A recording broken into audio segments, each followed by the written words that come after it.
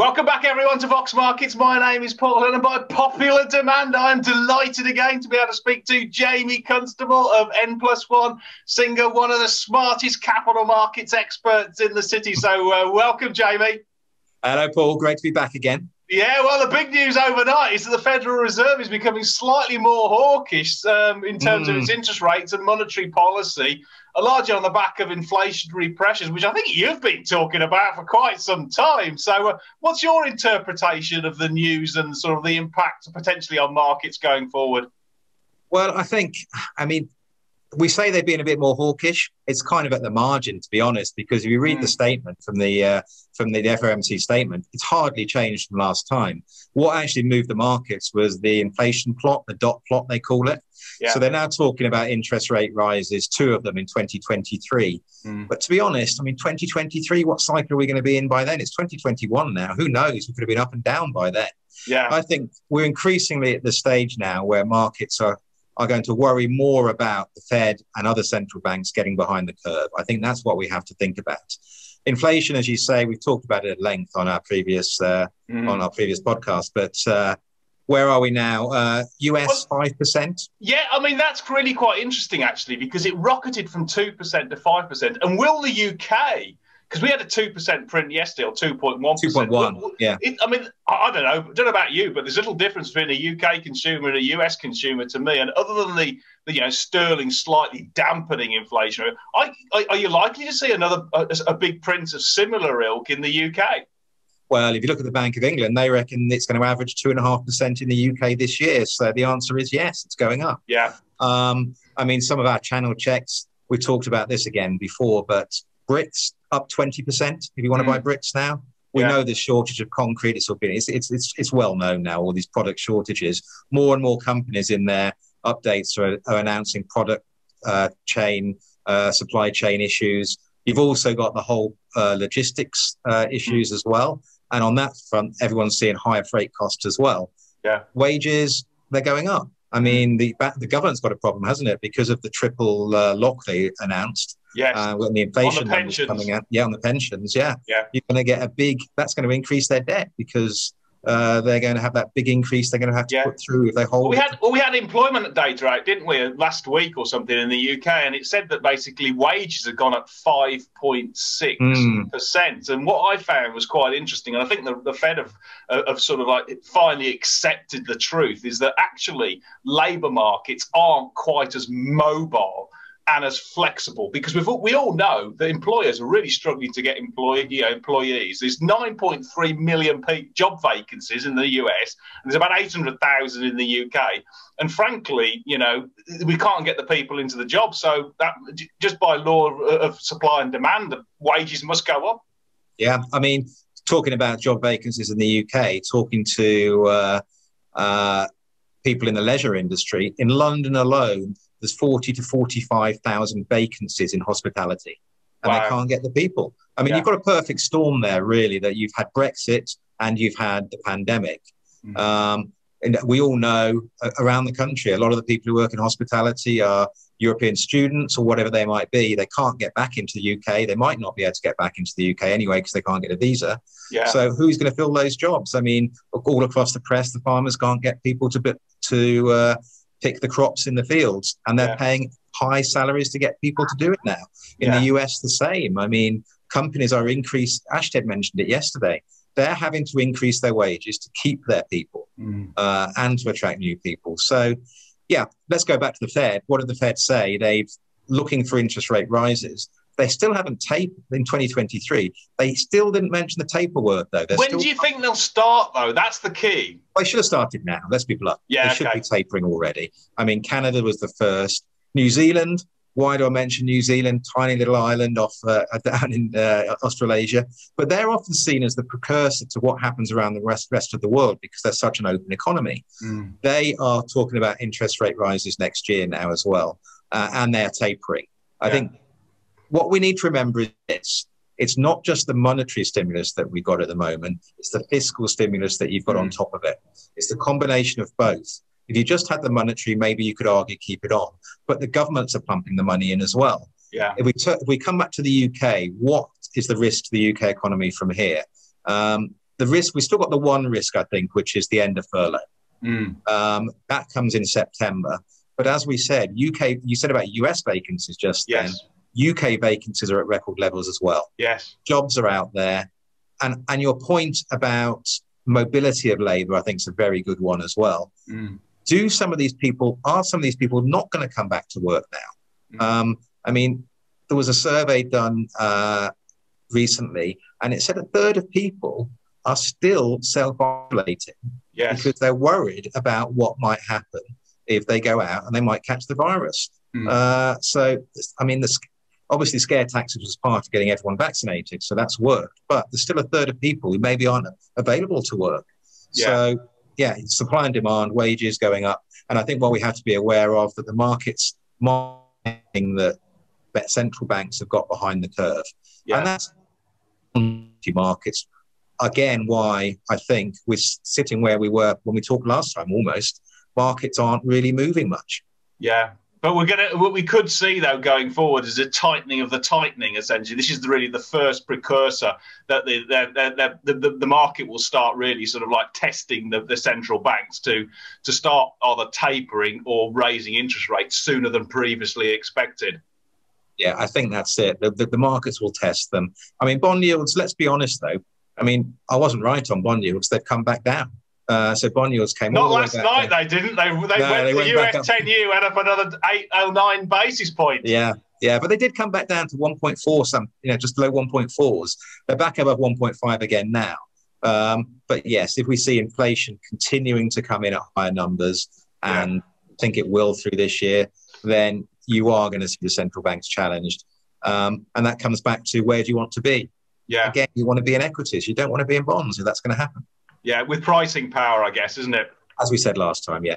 Pricing yeah. power is everything. When you, you there's no end of companies now I've mentioned squeeze supply chains, stock sword shortages. Mm. Um, when you've got that, and if you look at PPI, the other uh, producer prices, um, the pressure between input and output is really on now.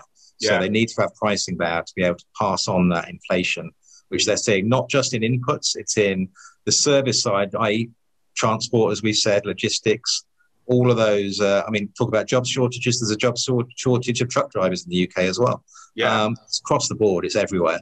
Uh, you need they they need to be able to pass on those price rises, yeah. which is what we're seeing. Yeah, and what just turning now sort of like from from the from the macro to sort of like uh, the sort of the fundraising. Another big sort of mm. like you know changer has been the sort of the strength or previous strength, though certainly the first part of the year of the IPO and the secondary listing mm. market. what are you seeing there? I what you're seeing a lot of IPOs in the market. Yeah, uh, is the IPO indigestion? I think some of the share price reactions after IPO like made.com yesterday. Yeah. Saying there's a little bit of indigestion there. What I would always say on this is that you can always IPO a good company. Mm. You can always IPO a good company. The question is, what price can you IPO?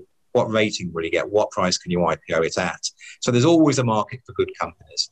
Um, I think for fund managers, it gets the more there are, it gets difficult because let's think about a typical fund manager. Maybe they hold 60, 70, 80, maybe 100 stocks on their portfolio. Mm. If you look on an annual basis, how many IPOs can you take on a portfolio on a year? Yeah. I mean, high single digit, maybe. Yeah. Um, but you're not going to put your whole like your you're not going to turn your whole portfolio from companies you know mm. into companies that are new to the market. Yeah. Uh, so I think good ones can always IPO. I think we'll see a a kind of good ones coming through and ones will be pulled. And we've already seen a few pulled. Uh, some will be pulled that to show it won't happen. So I'm told by fund managers there's upwards of 40 potential IPOs out there for the rest of this year. Right. I doubt that we'll see 40 IPOs coming to market. And that's yeah, in the small okay. cap first that we yeah. do. That's yeah. that's up about one and a half billion. I doubt we'll see 40 come to market, to be perfectly honest. Yeah. But you're going to get more secondary deals as well, I think, which is good for the market as well. I think UK companies are ready to do M&A. We've seen it this year so far. Uh, that is another demand on that is another pull on cash for fund managers. Mm. But we're seeing some very good deals coming through by companies.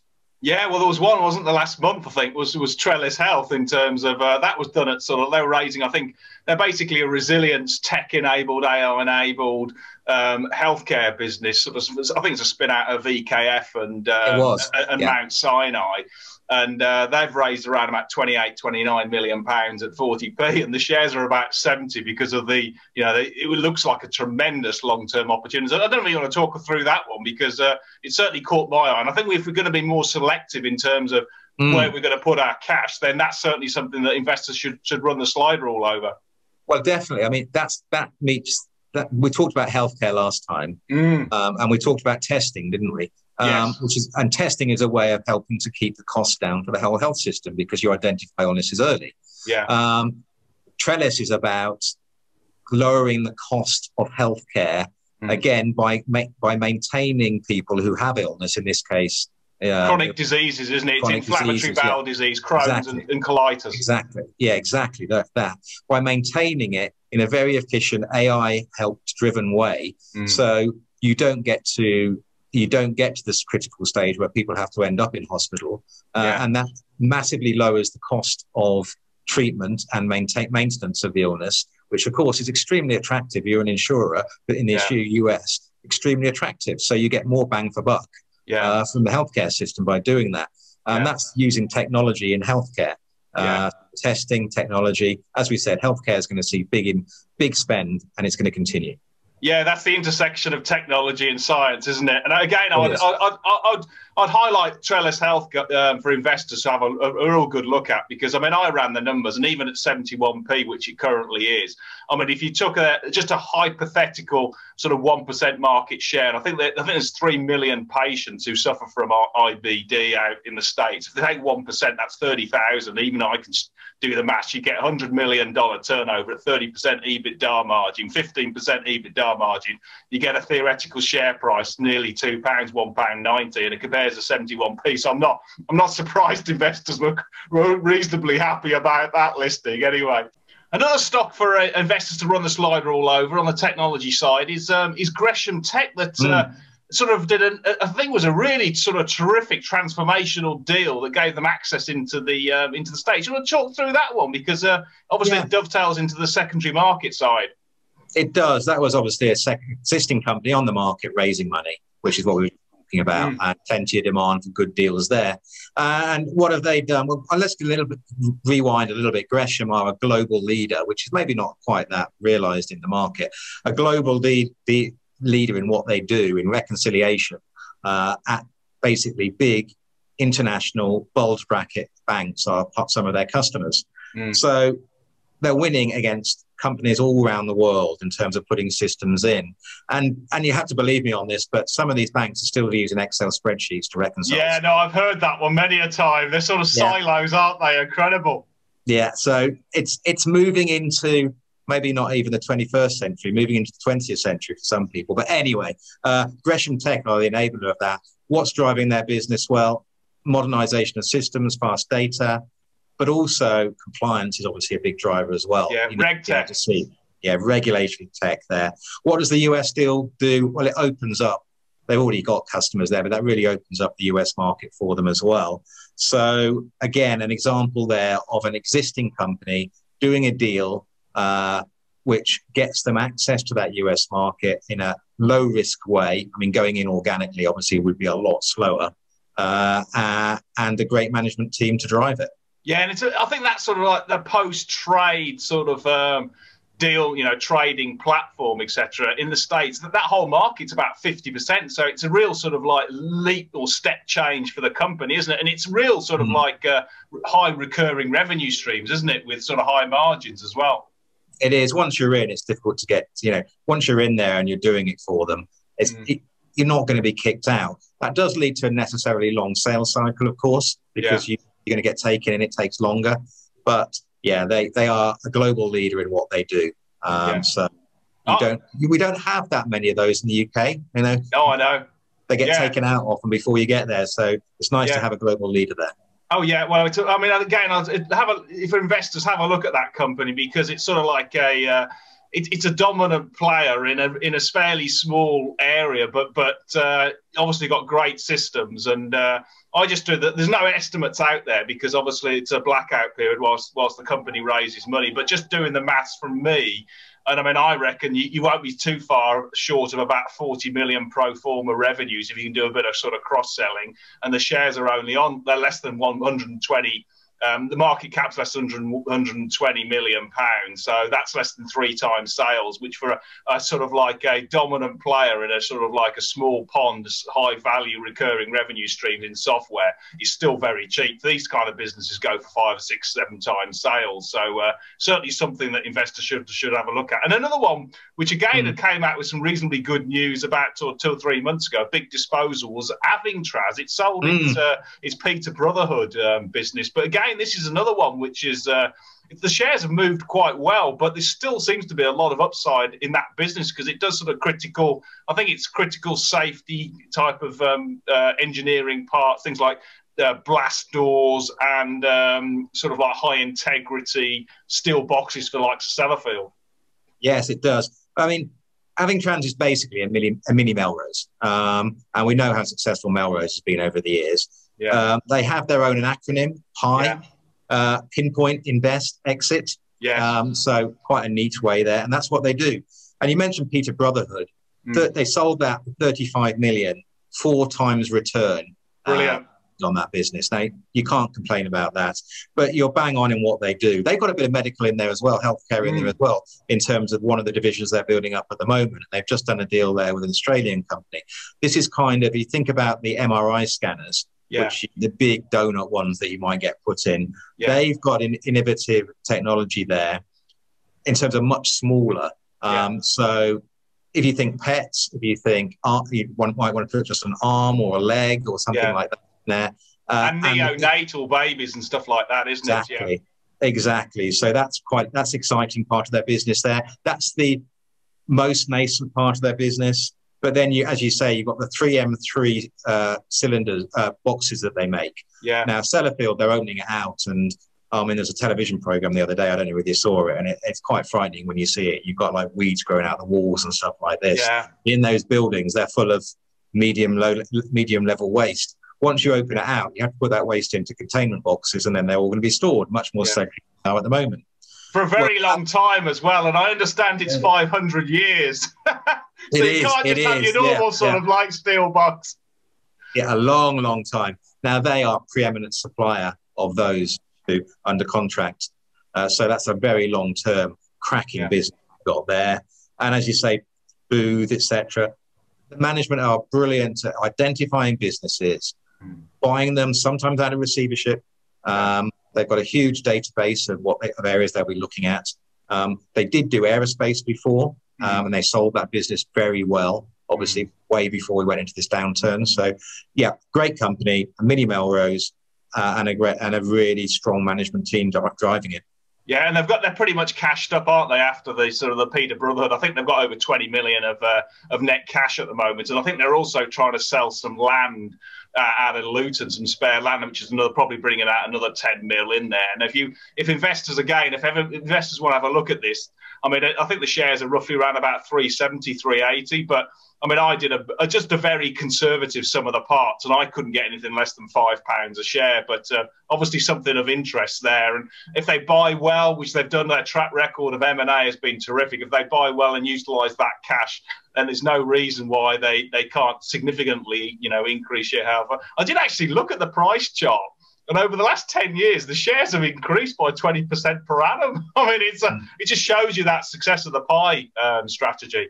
It is, it is, yeah, it is. And. I think investors, if they wanted to do something bigger, would be there to back them and things like that. So it's a great, it's a great company. They, as you say, they've proven their strategy a number of times now in terms of this pie uh, uh, pinpoint. Just to repeat, pinpoint invest exit. They've proven that works. So uh, a really strong story there.